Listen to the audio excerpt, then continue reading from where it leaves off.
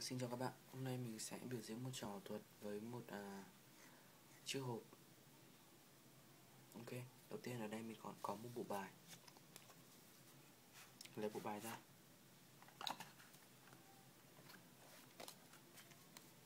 Và mình sẽ mời khán giả chọn một con bài. Bằng cách mình sẽ sáo bài lên và khán giả hô dừng. Ví dụ. Dừng, ok, đây sẽ là con bài khán giả chọn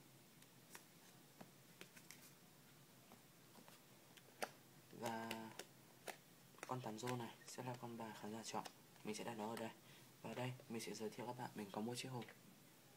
Và mình sẽ mở chiếc hộp ra. Chiếc hộp này là một chiếc hộp hoàn toàn bình thường. Bằng nhựa ok. Ok, mình đặt nó ở đây.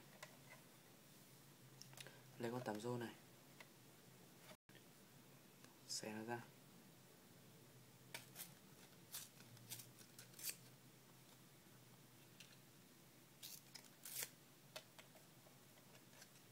Xé nó ra thành bốn phần. Và xếp nó lại. Như vậy. Ok. Như này. Và lúc này thì con đám rô đấy đã được xé thành bốn phần rồi. Chúng ta sẽ úp chiếc hộp lại.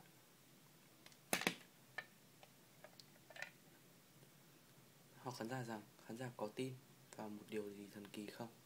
Khán giả hãy nói tôi không tin. Chúng ta sẽ làm cho khán giả tin bằng cách búng tay một chiếc hộp ra. Còn tám rô lúc nãy khán giả chọn. Đã trở thành nguyên vẹn.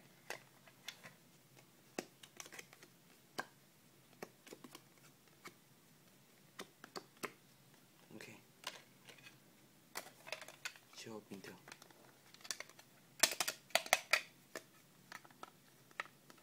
Ok. Cảm ơn các bạn.